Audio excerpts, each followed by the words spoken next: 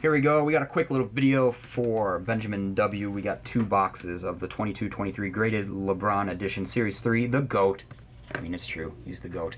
61 of 100 and 19 of 100. There you go. All right, let's get rolling. Remember, no one has more hits than hit parade. Here we go, here we go. What's up, Meerkat? How's it going? Enjoying the outdoors?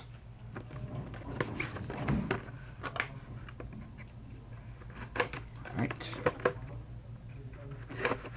There we go. Alright. Let's see what we got here. Here we go, Benjamin W. Alright, it's a Mint 9, 2004 Topps Chrome. That should be second year. That's obviously LeBron, second year. Nice one there on the LeBron Mint 9. Nice one there. Mint 9, second year, 04 Topps Chrome. Alright, there we go. Let's move on to box number two. Here we go.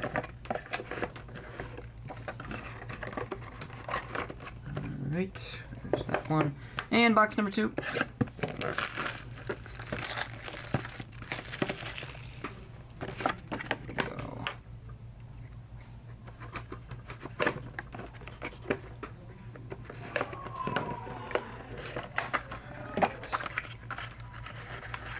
And our second card, our last box, it is a Mint 9, obviously.